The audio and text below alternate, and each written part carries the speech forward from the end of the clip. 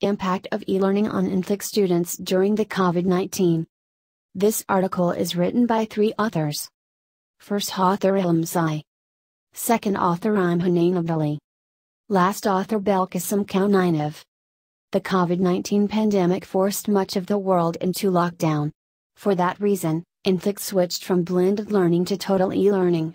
In this paper, we explore the impact of e learning on INTTIC students during the COVID 19 lockdown.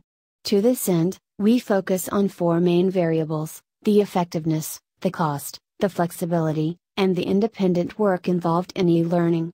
Our results show that e learning cannot be entirely effective without the teacher's online interaction.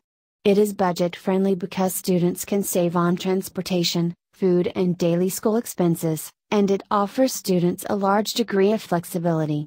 Nevertheless, almost all students struggle to complete their homework on a deadline. The main causes could include the psychological aspects of lockdown, the lack of prior experience with total e learning, and a need for teacher supervision. Future research should study the impact of e learning on teachers during the COVID 19 lockdown. Thanks for watching this abstract video of Journal of Education and E-Learning Research Volume 9 Issue Number 1 published by Asian Online Journal Publishing Group.